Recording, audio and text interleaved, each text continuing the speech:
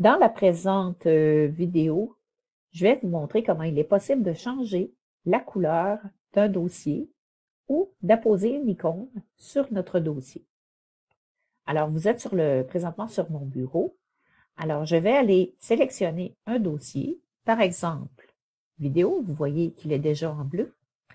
Alors, je clique sur le bouton droit de la souris et j'ai un menu contextuel qui apparaît. Je pourrais aller dans Propriétés et je pourrais passer par Afficher plus d'options.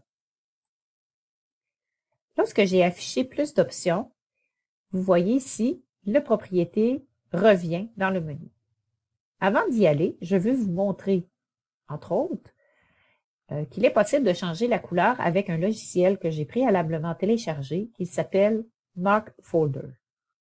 Donc, avec le menu, je vais aller voir les couleurs et je vais aller changer, par exemple, la couleur de bleu vers, par exemple, rose. Donc, comme j'ai un essai de 30 jours, j'ai la version gratuite. Il suffit seulement de cliquer sur OK.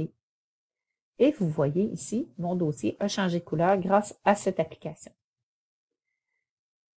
Je recommence. Je clique à droite sur ma souris. Je vais passer par propriété cette fois-ci. Donc, j'ai un menu ici pour travailler sur les propriétés du dossier vidéo.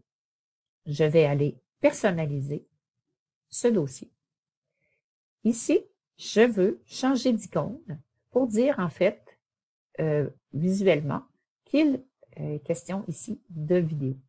Donc, je vais aller sélectionner dans Changer d'icône et vous voyez le menu apparaît ici. Donc, par exemple, je pourrais sélectionner vous voyez ici euh, l'icône film. OK. Donc, on a changé ici et je vais appliquer. Donc, j'ai terminé.